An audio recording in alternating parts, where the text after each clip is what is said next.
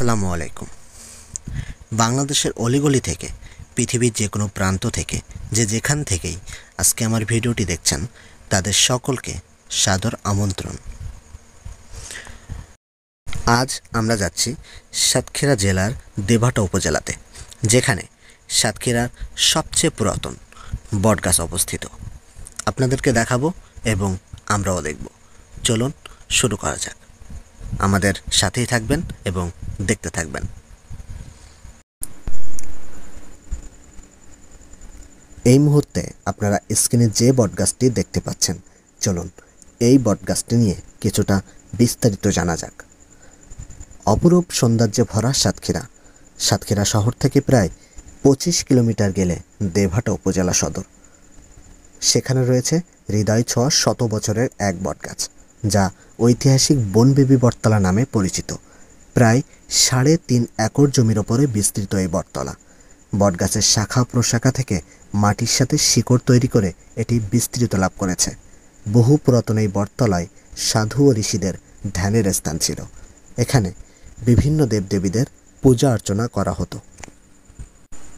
এই মুহূর্তে আপনারা স্ক্রিনে যে বটগাছটি দেখতে পাচ্ছেন, এই হলো সেই বনবেবী বটতলা। চলুন কিছুটা সিনেমাটিক শট দিয়ে আপনাদেরকে দেখানো যাক এবং আপনারা উপভোগ করুন। Thank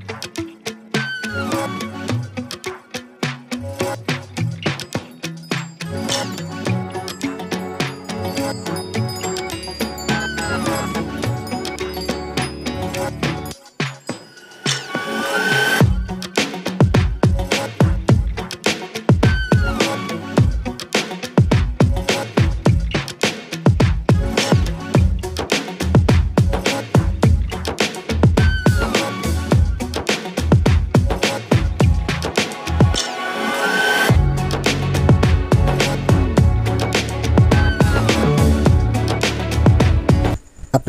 সময় স্ক্রিনে যে বটগাছটি দেখতে পাচ্ছিলেন, এই হলো সেই বনবিবি বটতলা।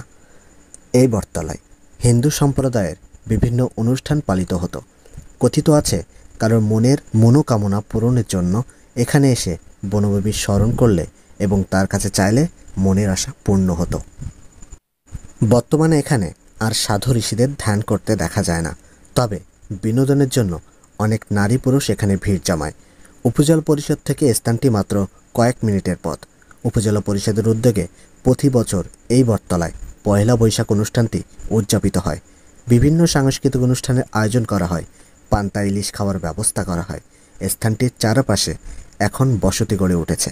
তাই ধীরে ধীরে এই বটতলাটি তার নিজস্ব সক্রিয়তা হারিয়ে ফেলছে।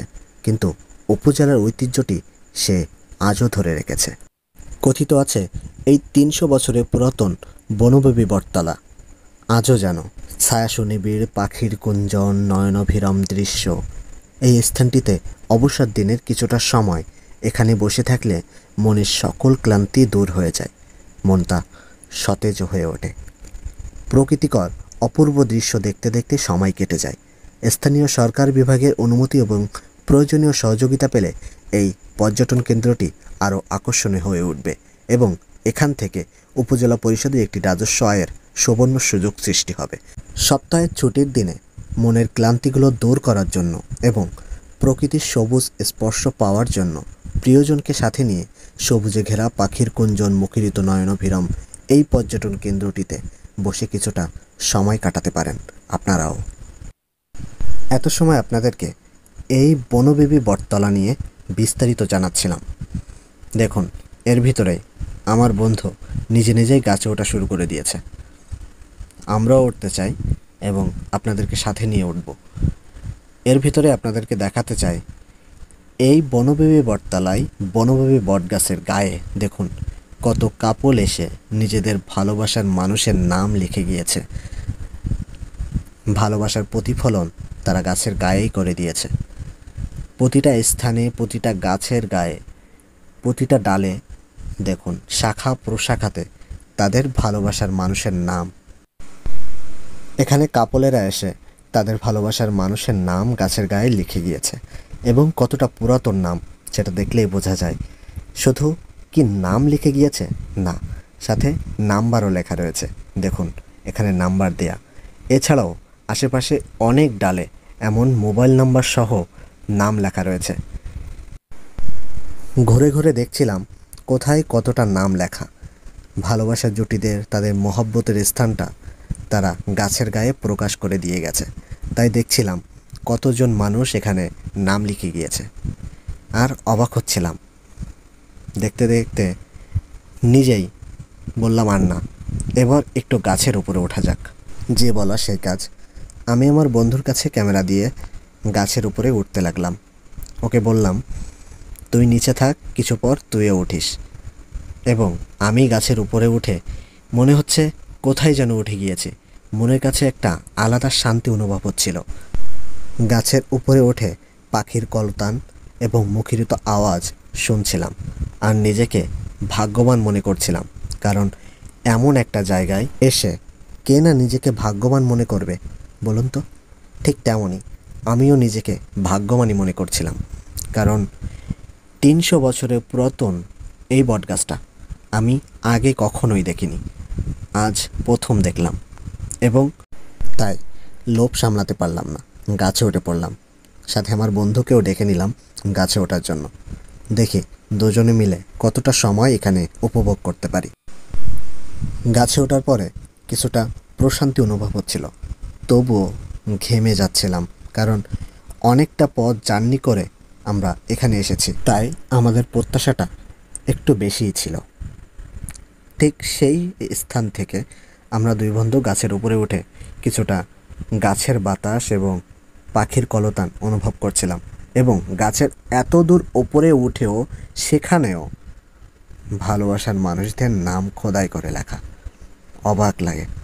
শুধু এখানে তার উপরেও রয়েছে। গাছের অনেক উপরেও ঠিক এমনভাবে ভালোবাসার মানুষদের নাম খোদাই করা। কীভাবে সম্ভব? এত উপরে ওঠে তারা তাদের ভালোবাসার মানুষদের নাম লিখে গিয়েছে। এখানে শুধু নাম না, নাম্বারও লেখা আছে গাছের এতটা উঁচুতেও। এই গাছের এতটা উঁচুতে উঠেছি, কিন্তু কিছু ছবি তুলব না, তা কি আর হয়? সেজন্য আমি গাছের আরও উঁচুতে ওঠার চেষ্টা করছিলাম। কিন্তু বারবার ব্যর্থ হচ্ছিলাম। অবশেষে কিছুটা সময় চেষ্টা করার পরে গাছের উঁচুতে উঠতে সক্ষম হই। গাছের এত উঁচুতে উঠে যেন আরও ভালো লাগছিল নিজের কাছে। তাই কিছুটা আনন্দ প্রকাশ করার চেষ্টা করছিলাম। গাছের এতটা উঁচুতে উঠেছি তবু উপরের দিকে তাকালে মনে হচ্ছে আমি একেবারে নিচে। গাছটা আরও উঁচু। কীভাবে সম্ভব? এত উঁচুতে ওঠা আমার পক্ষে সম্ভব না। কারণ আমি উঠেছিলাম জুতো পরে। অবশেষে আমার জুতোটা নিচে খুলে ফেলে দেওয়া লাগছিল, নয়তো আমি ওখানে দাঁড়াতে পারছিলাম না, পা অনেক ব্যথা করছিল। সেজন্য জুতো ফেলে দিয়ে আমি ধীরে ধীরে আবার নিচের দিকে নেমে আসলাম। কিন্তু আমার আগেই আমার বন্ধু নিচে নেমে গিয়েছিল, তাই ওর কাছে ক্যামেরা দিয়ে আমি নিচের দিকে নামতে থাকলাম। গাছের এতটা উঁচুতে উঠেছিলাম যে নামতে নামতে আমি হাঁপিয়ে গিয়েছি। অবশেষে ধীরে ধীরে অনেকটা নিচে নেমে চলে আসলাম এবং ওকে বললাম, তুই ক্যামেরাটা ধরে রাখ, আমি নিচে নামার চেষ্টা করি। গাছে ওঠার সময়টা সহজ ছিল কিন্তু নামার সময়টা সহজ ছিল না। তাই উঁচু ডাল থেকে ওকে বলছিলাম, পারব লাভ দিতে? বলল হ্যাঁ পারবি। তাই সাহস নিয়ে লাভ দিয়ে পড়লাম। অনেকক্ষণ ধরে দেভাটার বনবিবি বটতলাটা আপনাদেরকে দেখিয়েছি এবং আমরাও দেখেছি এবং খুব সুন্দরভাবে উপভোগ করেছি। এবার আমাদের চলে যাওয়ার পালা। আমাদের সাথেই থাকবেন। আমাদের জন্য দোয়া করবেন। ভালো থাকবেন। আল্লাহ হাফেজ।